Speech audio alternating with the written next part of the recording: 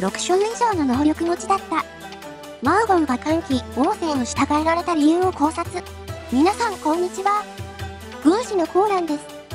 今回は、マーゴンが歓喜、王政を従えられた理由についてお話ししていきたいと思います。ぜひ最後までご覧くださいね。真の中でも、ひときわ癖者と言える王政と歓喜。彼らは実力者ですが、正確に癖が強く、まともに使うことが難しい将です。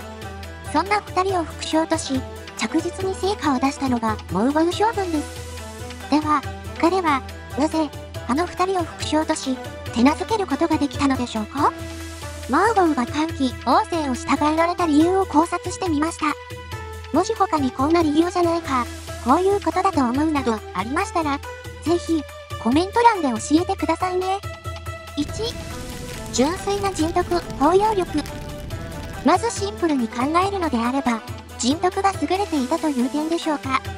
マーゴンは、真の将軍でも、屈指の人格者として、部下たちから人気を集めています。将軍らしからぬ思いやりを持ち、一兵卒すら大切に扱う態度がさすがですよね。この人徳や包容力にほだされた、という可能性はないでしょうか歓喜も宝泉も猜疑心が高く、人を信頼しなさそうな性格をしています。そんな生き方をする彼らにとって、手放しで信頼できる親のような存在。そんな存在になり得たのであれば、どれだけ強いことでしょうか。もちろんそれだけで言うことを聞く二人ではないでしょう。ですが、従った理由の大きな割合として、このマーゴウの人徳はあったのではないかなと。では、人徳以外の面ではどうでしょうか計算高い二人のことですから、実利がないと動かないでしょう。そこについてのメリットも、マーゴンは持っていたのかもしれません。2、欲求を見抜く力。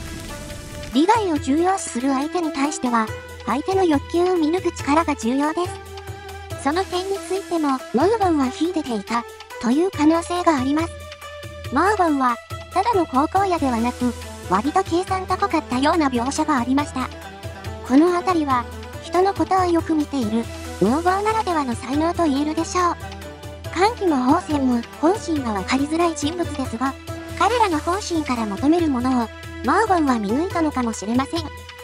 それさえ分かってしまえば、後の話も進めやすいですよね。3、交渉力の高さ。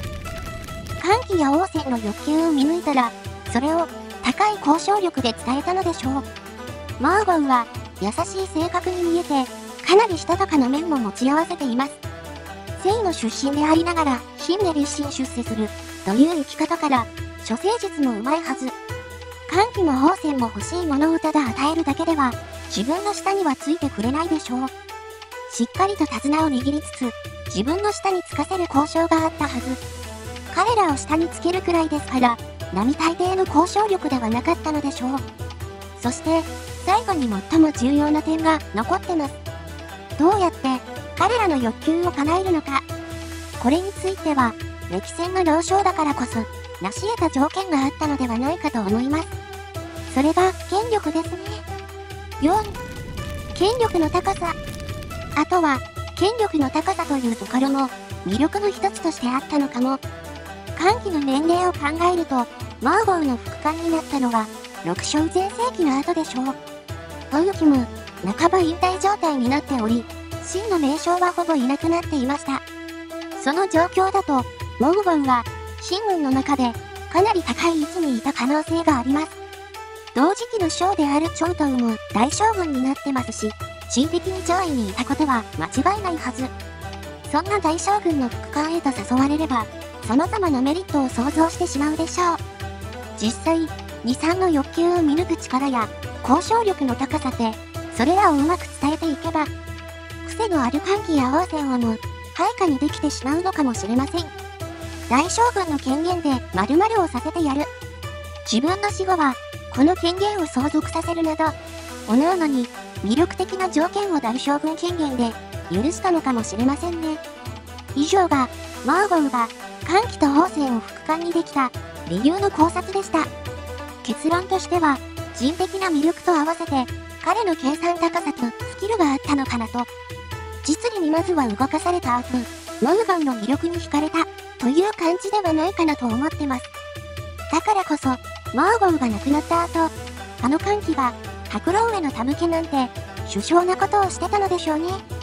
もし他にこんな理由じゃないか、こういうことだと思うなどありましたら、ぜひ、コメント欄で教えてくださいね。